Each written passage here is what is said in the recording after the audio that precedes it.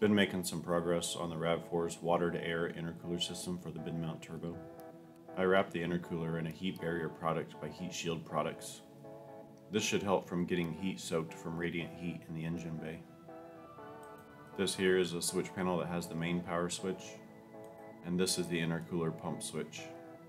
The intercooler pump is a basic cheap bilge pump flowing about 500 gallons per hour I added a stainless steel strainer to keep ice from being sucked up in the pump. This shows how the pump is mounted inside the 2.6 gallon ice box. The pump was wired through an electrical bulkhead. I mounted the ice box behind the front seats. I was able to run the coolant lines outside the RAV4 from the ice box using 3 quarter inch hose and some 12 AN bulkhead fittings. This included an ice box drain tube from the bulkhead fittings, I was able to run the coolant lines under the RAV4 up behind the front passenger fender liner and out from behind the front headlight. Here I have the water-to-air intercooler temporarily relocated to test for leaks. The auto bleeder seems to be working.